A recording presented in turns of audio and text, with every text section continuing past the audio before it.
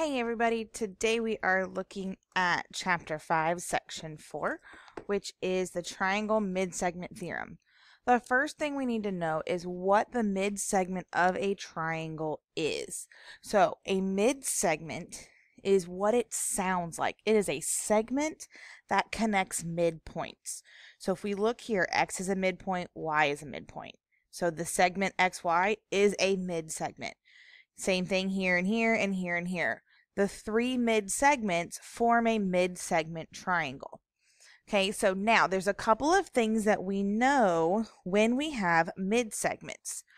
First off, a mid segment is going to be parallel to the side that it doesn't touch. Okay, so segment DE here touches this side, it touches this side.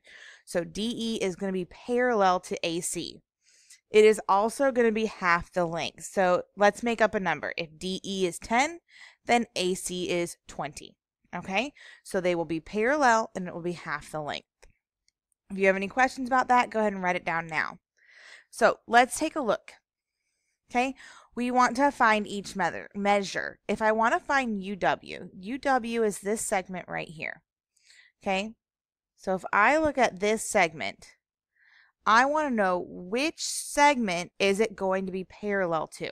So I look at the side of the triangle that it doesn't touch, which is this segment over here. So these two are parallel and UW will be half the length. So UW is going to be half the length of ST.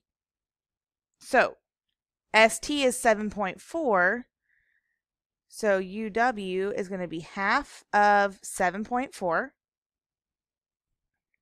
which is going to give us that UW is 3.7. Okay. Next thing we're going to do is we're going to look at the measure of angle SVU. So SVU is this angle right here. Okay, it is formed by the mid segment and the segment of the triangle that is already highlighted and this transversal.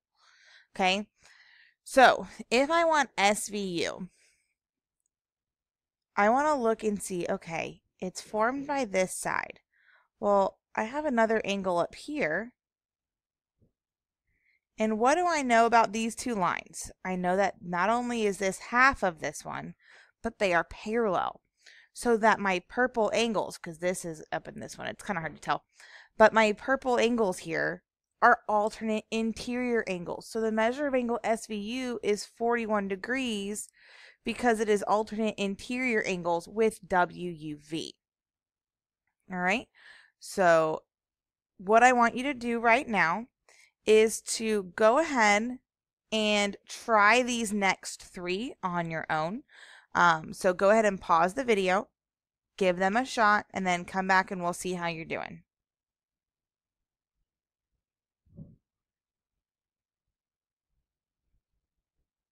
Okay, so let's take a look here um, at your answers. So give them a check.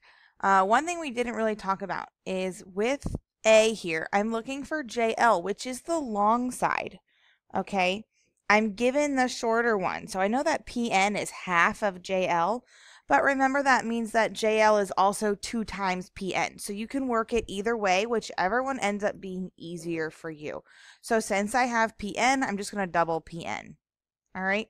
Here I have P, I'm looking for PM, but I'm given LK. So I know L, half of LK because that's the side it's parallel to. And then for the measure of angle MLK, that's this angle right here. I know that my green segments here are parallel. So if I look at this pink one as a transversal, these two blue angles are corresponding angles. So they're going to be congruent. So all of that gets to come back. Those corresponding, those alternate interiors, um, maybe see same side interiors. Okay, those are going to come back this chapter again. So please keep that in mind. If you have any questions on any of those, either the example one or the on your own, go ahead and write them down. Okay, so with example two, we are looking at trying to find the values of x and y. I know that OM ON, and MN are all mid segments because I can tell that N is a midpoint because these are congruent. O is a midpoint because these are congruent, and M is a midpoint because these are congruent. So what I'm going to look at is see, okay, I know that Y, which is going to be this side right here, okay, is going to be parallel to this side here. Okay?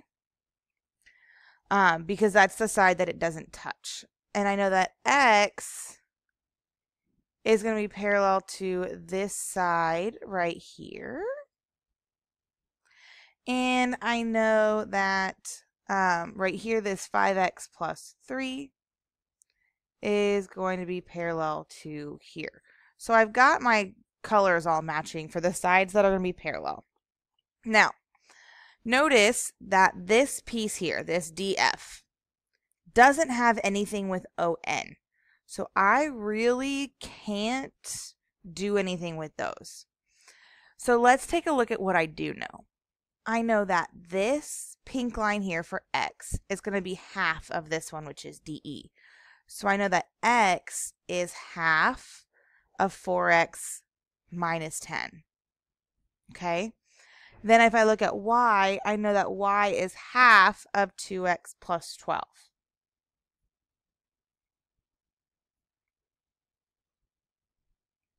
All right, so when I look at these, I want to see which one is going to help me. Again, if I look at this 5x plus 3, there's nothing over here.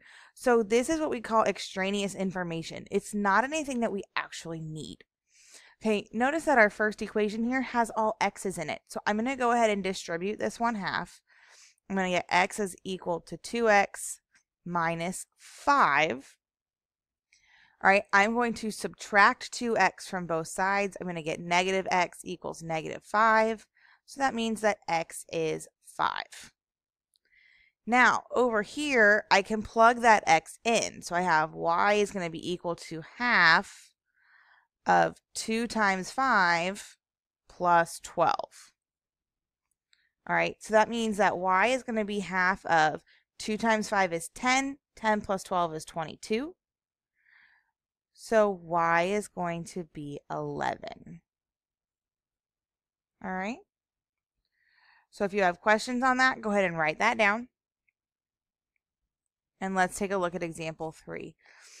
So what we're doing with example three is we are actually proving the mid-segment theorem. Okay, so we're going to use a coordinate proof to show that a mid-segment is parallel to its opposite side, or the side it doesn't touch, as well as half the length. So we're going to start by plotting this in a coordinate plane with variables as um, its coordinates.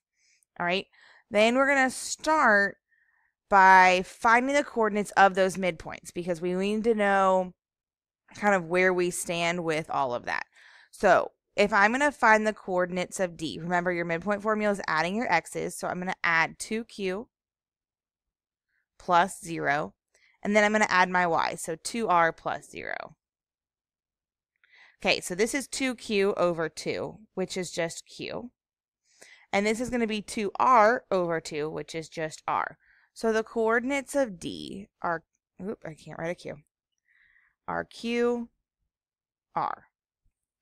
All right, then I'm going to find the coordinates of E. So again, I'm going to add my x's. So I'm going to do 2q plus 2p, and then 2r plus 0.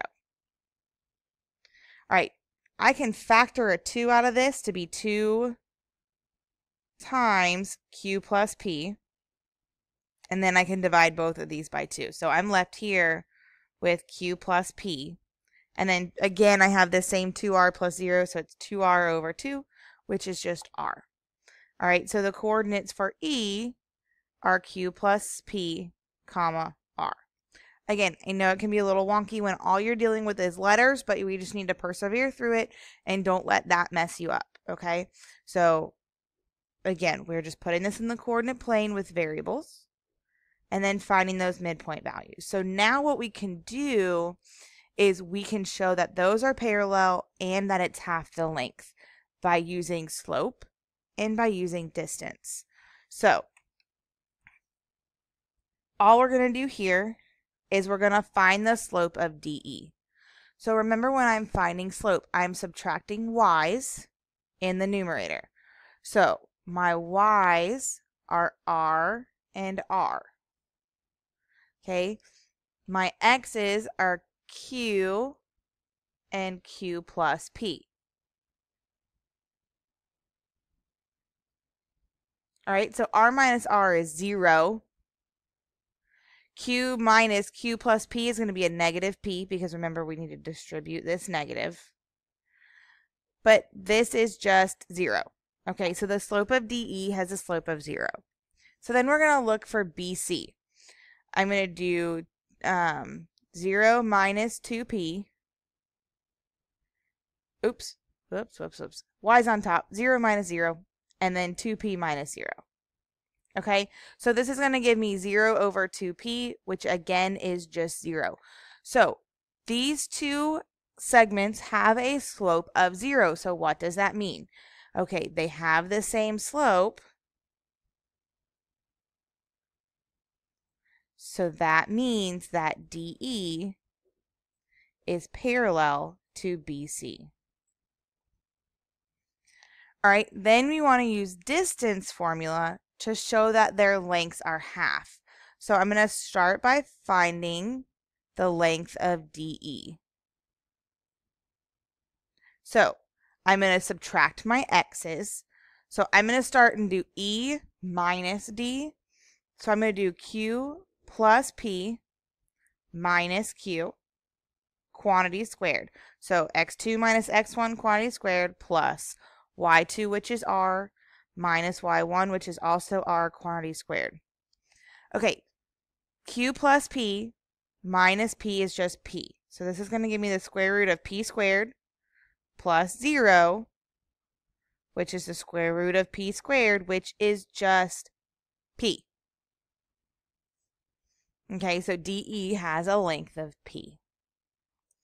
Then we're going to look at BC. Okay, so same thing. The square root.